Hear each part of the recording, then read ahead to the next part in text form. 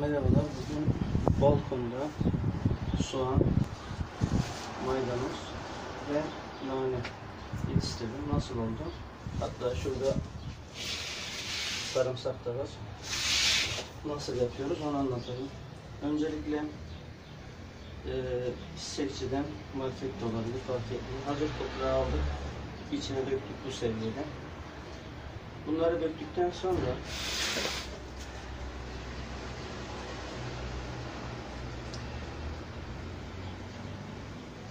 Şöyle göstereyim ben.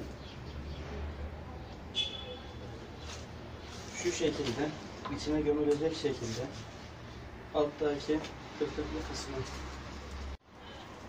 yani şu kısım şöyle durup aşağı gelecek şekilde gömdüm. Hatta benimkilerin aralıkları biraz sık oldu gördüğünüz gibi. Yani biraz daha geniş olabilir. Ama bu da iş görüyor, sıkıntı yok. Lazım oldukça kesiyoruz. Kesilen yerlerden, kenarlarından tekrar yeni yapraklar çıkıyor 2-3 günde bir. Bunları rahatlıkla toplayıp yiyebiliyoruz. Hiçbir sıkıntı duymuyoruz. Normal toprağa gübre katıp getirdiğimiz zaman özellikle sirkesine gibi bazı küçük sineklerin oluştuğunu ve sıkıntı verdiğini gördüm. O yüzden şunu yerine göre koyayım.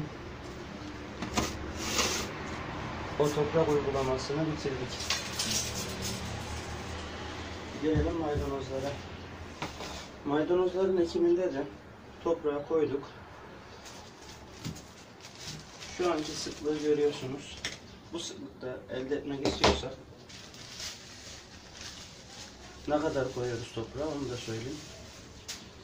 Toprağı bu seviyeye kadar yaklaşık olarak koyuyoruz. Bir parmak kalasıya kadar. Sonra biraz daha aşağı alayım. Sonra şu aralıklarla her tarafa eşit ol olması gerekecek şekilde şu aralıklarla tohumları atıyoruz. Bu gördüğünüz maydanoz tohumları. Nereye? Kağıdın üstüne değil tabii. Az önce gösterdiğim toprağın üzerine. Bunu attıktan sonra çok ince bir tabaka halinde serpiştirerek tohumların üstü kapanacak kadar toprak serpiştiriyoruz. Sonra elimizle bir güzel bastırıyoruz.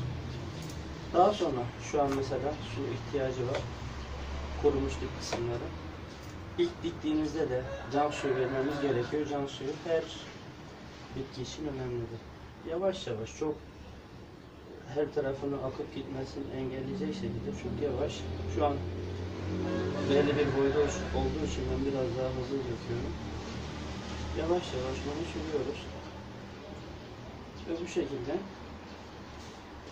eee, bir haftaya yaklaştı maydanozlarımız gördüğünüz boya ulaştı.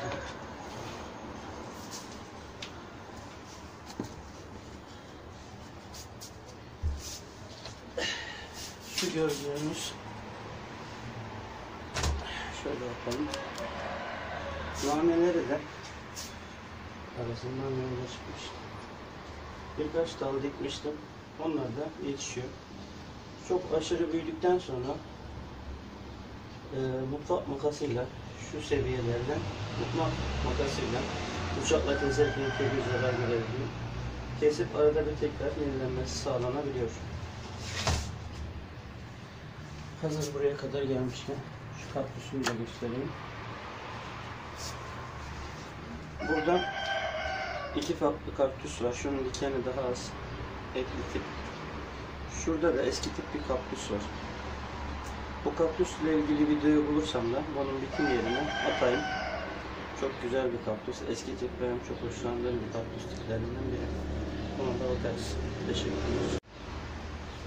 Unutmadan şunu söyleyeyim. Soğan alırken bunun şu büyüklükte, küçük zaten e, dikmek için denediği zaman tarım ilaçları satan yerde veya bu şekilde soğan satan yerlerde bulunuyor. Bu soğanın e, bu boyda olmayacak tabii. Küçük küçük az önceki gibi olacak. Beyaz olanı alırsanız üzerindeki yeşil çıkan yeşil soğan da e, tatlı olur. Bu bir ayrıntıdır. Buna dikkat edelim. O şekilde soğan alıp dikebiliriz.